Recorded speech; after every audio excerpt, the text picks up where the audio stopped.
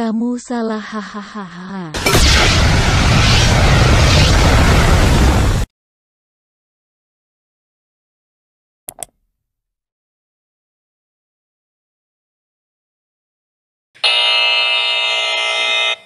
Kamu masih juga salah hahaha.